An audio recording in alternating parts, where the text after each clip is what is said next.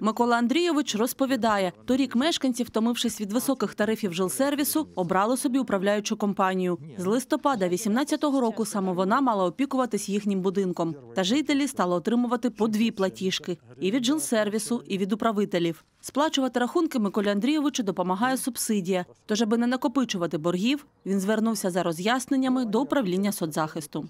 Они просмотрели с- просмотрели мое дело, говорят, нет, вы получили повідомлення о назначении субсидии, где указан жилсервис, вот туда и платите.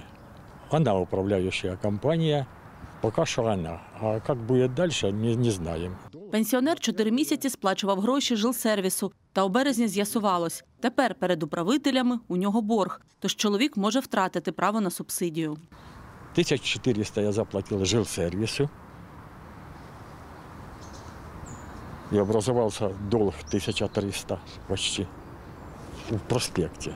Аби з'ясувати, як так сталося, що пенсіонеру надходило по дві платіжки, йдемо до жилсервісу. Там пояснюють, до 1 березня 2019 року саме вони обслуговували будинок по проспекту Поля 76А. Посилаються на постанову міськради. Там були прописані необхідні документи, які управляюча компанія мала б їм надати, аби почати обслуговувати будинок. Та жилсервіс їх не отримав. Э, 20 февраля более упрощенное решение 46 дробь 42. 20 февраля они, проспект, управляющая компания 4.03 надала нам документы, вот письмо и вот пакет документов. Мы 1.03 отпустили перечень вот этих домов, на которые они предоставили документы. В управляючої компанії своя правда. Кажуть, зробили усе за правилами і почали обслуговувати будинок саме з 1 листопада 2018 року. Це встановив і суд, куди вони звернулись, бо жилсервіс відмовлявся віддавати будинок. Тож вважають, саме їхні платіжки і мало оплачувати мешканці. юридически и фактически обслуживали этот дом мы, но с 1 ноября по 1 марта 2019 года Жилсервис-2 э, м, продолжал начислять э, оп- м, начисления по кварплате, ну и, соответственно, у людей росла задолженность. Те, що правда на стороні управителів, підтверджують і юристи. І жилсервіс не мав права чинити перепони.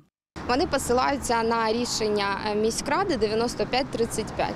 Е, Це рішення є доволі таки е, суперечним та протирічить як мінімум трьом законам: це закону України про СББ, про особливості здійснення права власності в багатоквартирному будинку та закону України про житлово-комунальні послуги. Людям юристка радить звертатися із заявою до жилсервісу і вимагати повернення коштів. Якщо там відмовляться, йти до суду і захищати свої інтереси. Юлія Кочет, Єгор Любарщук, Андрій Чабаненко. Новини 11 каналу.